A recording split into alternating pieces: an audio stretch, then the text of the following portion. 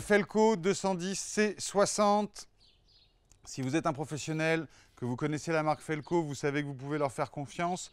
On a choisi de commercialiser ce coupe-branche parce qu'il est manche carbone, donc très léger, très facile à manipuler et surtout parce qu'il a une capacité de coupe pour des personnes qui entretiennent régulièrement leur jardin très satisfaisante. C'est un coupe-branche qui fonctionne à lame contre lame, donc on ne va pas pouvoir lui mettre des morceaux de 5 cm entre les dents, mais quand même, vous allez pouvoir monter jusqu'à 3,5 cm de diamètre, ce qui est vraiment très intéressant. Donc évidemment, pour tout ce qui est taille d'entretien sur des petites branches comme ça, de même pas 1 cm de diamètre, bon, ouais, vous sentez même pas la résistance tellement que l'affûtage de la lame est performant. Et comme je vous le disais, c'est vraiment un coupe-branche de paysagiste, parce que c'est un coupe-branche qui va servir à entretenir. Donc les paysagistes viennent régulièrement chez leurs clients, donc ils n'ont pas souvent de grosses branches à tailler, à part à la saison de l'automne, où là, ils font ce qu'on appelle les tailles de structure. Mais tout au long de l'année, c'est de l'entretien. Donc on va avoir des petites branches de 2 cm, des choses comme ça. Et c'est vraiment des outils qualitatifs et vraiment des outils performants au niveau de la taille. Donc, je vous le disais, maximum de diamètre 3,5. On ne va pas pouvoir tailler plus grand.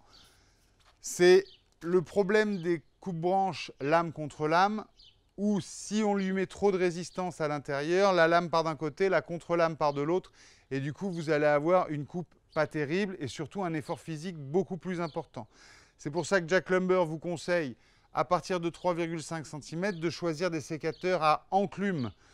Certes, vous allez peut-être écraser un petit peu l'écorce de la branche, mais au moins vous aurez une capacité de taille plus importante et une résistance beaucoup plus performante au niveau des outils, surtout si vous choisissez des systèmes à crémaillère, où là vous allez avoir non seulement une capacité de coupe plus importante, et en plus un effort physique vraiment diminué.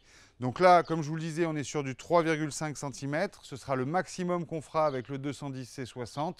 Il faudra que le bois soit vert ou tendre. Évidemment, ce n'est pas un outil pour faire du bois très dur comme de l'if, de l'acacia, du noyer ou des végétaux de, de ces essences-là. Donc on travaille en une seule fois. Vous voyez, vous commencez à entendre le bruit. Donc là, c'est le maximum qu'elle peut tailler.